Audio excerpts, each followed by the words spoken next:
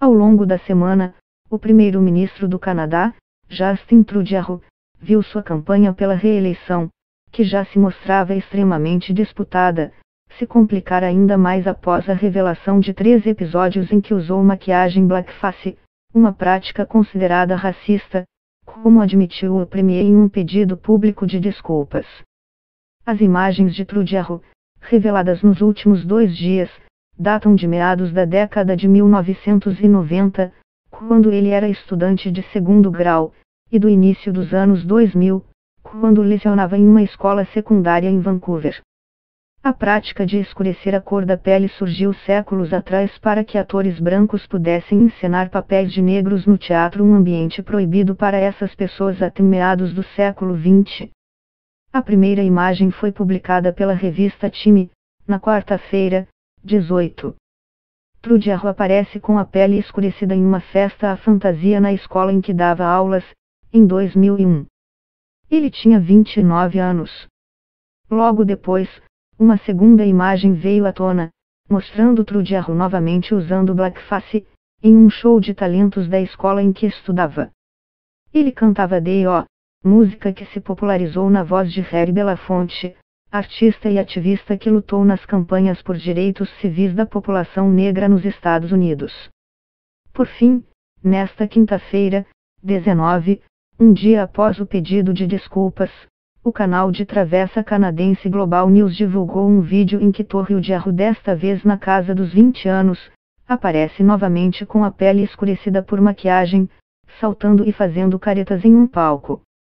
O Partido Liberal, de Trudeau, confirmou a veracidade do vídeo. A série de imagens de cunho racista provocou uma enxurrada de críticas ao primeiro-ministro e muito constrangimento, especialmente porque Trudeau tem como bandeira de seu governo as políticas progressistas, como a busca por justiça social, diversidade e inclusão. Falando a jornalistas após o artigo da Time, Trudeau disse que estava fantasiado de Aladdin em uma festa temática sobre as noites na Arábia. Sou totalmente responsável pela minha decisão de fazer isso, usar a fantasia. Eu não deveria ter feito, disse.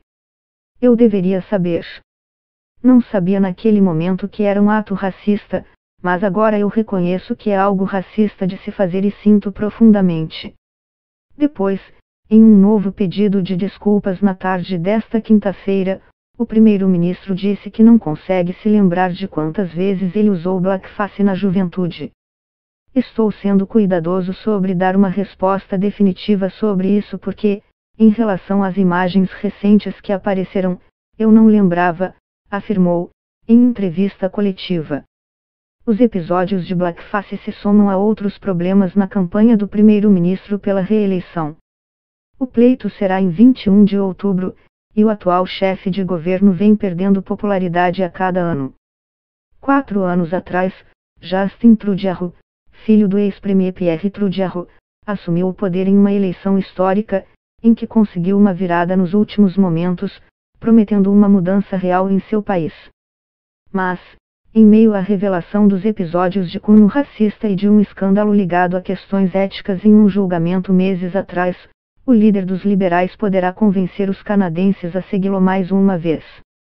No dia em que Trudeau assumiu, ele estampou manchetes em vários países por causa de seu gabinete com igualdade de cargos entre homens e mulheres e por anunciar que a paridade era uma das prioridades do seu governo. Porque estamos em 2015, justificou o recém-impossado primeiro-ministro, com um leve sorriso e um encolher de ombros que sugeria saber que sua sucinta frase provocaria furor mundo afora. Era o começo da lua de mel de Trudeau. Logo em seguida, o primeiro-ministro tirou seu fiz com o então presidente americano Barack Obama e foi retratado pela revista Vogue como a nova cara da política canadense. Mais adiante, depois da eleição de Donald Trump ao sul de sua fronteira, a capa da revista Rolling Stone lançava a pergunta de se o jovem Trudeau seria a maior esperança para o mundo livre um contraponto internacionalista em relação ao novo presidente americano, uma voz forte no combate às mudanças climáticas e por questões sociais progressistas, além de ser pró-imigração. Naquela época, o país tinha sido governado por quase uma década pelo conservador Stephen Harper, e o eleitorado parecia inquieto, em busca de mudanças. Havia um sentimento forte por mudanças, para se ver livre de Harper e dos conservadores, e seguir adiante, disse a cientista política Laura Stephenson, da Western University. A primeira campanha de Trudeau, a que o levou ao cargo de primeiro-ministro, foi marcada por promessas ousadas legalizar a maconha para fins recreativos, abrir as portas do país para 25 mil refugiados sírios semanas após assumir o governo e reformar o sistema eleitoral canadense. Os eleitores, então, se engajaram em sua campanha e apoiaram as visões positivas em relação ao Canadá, que contrastavam fortemente com a do ex-premier Harper.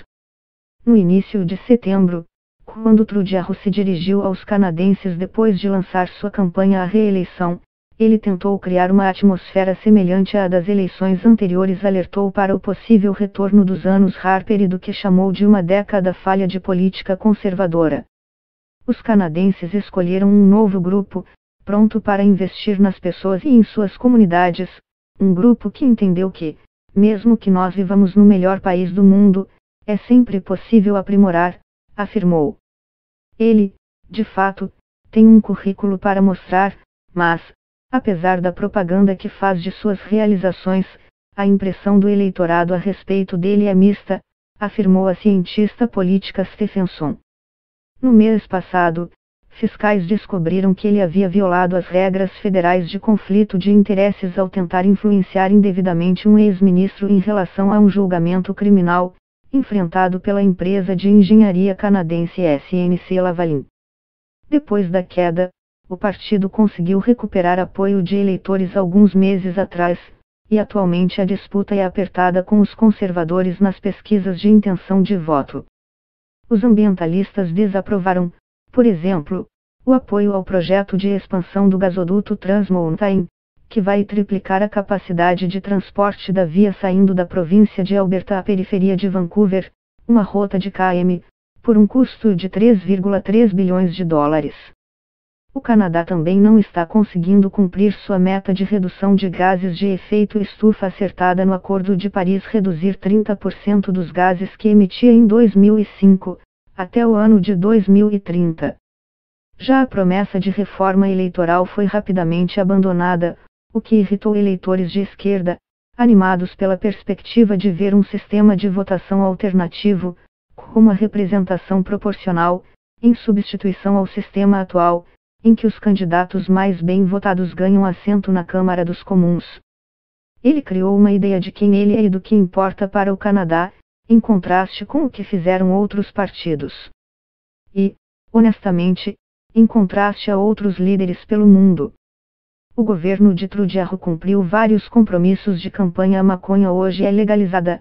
A Lei de Direitos Humanos do Canadá passou a proteger a identidade de gênero contra a discriminação, e ele concentrou esforços em políticas de igualdade de gênero. No plano econômico, o Canadá renegociou o Acordo de Livre Comércio da América do Norte, NAFTA, na sigla em inglês, com o México e os Estados Unidos apesar do protecionismo e do que Trudeau costuma chamar de imprevisibilidade é ao sul da fronteira. E o desemprego no Canadá chegou quase ao nível histórico mínimo. A questão, atualmente, é se Trudeau, que precisa do apoio de eleitores de centro-esquerda e de esquerda, conseguirá recuperar o sentimento que levou os progressistas a se unirem a ele e aos outros candidatos do seu Partido Liberal, na eleição de quatro anos atrás. Antes das revelações do Blackface, a equipe liberal vinha fazendo uma campanha agressiva de divulgação de informações embaraçosas sobre os candidatos conservadores, e conseguiu colocar o líder conservador Andrew Eyre na defensiva no início da campanha. O desafio agora de qualquer líder liberal é convencer as pessoas de que, se a votação ficar polarizada demais, o resultado será uma vitória para os conservadores, disse o ex-líder liberal Ray. Apesar dos problemas desta semana, Trudeau mantém algumas vantagens. De maneira geral, o bloco do primeiro-ministro está praticamente empatado com os conservadores, mas as últimas pesquisas indicam vantagem em regiões como Quebec e Ontário, duas províncias que, juntas, possuem 199 dos 338 assentos na Câmara dos Comuns. Outro trunfo é o bom desempenho de Trudeau em campanhas, afirmam os cientistas políticos. O que ainda não se pode estimar é qual dimensão terão eventos inesperados como os episódios de blackface no resultado final das eleições. Questões imprevistas que surgem podem se tornar pontos centrais para a campanha toda.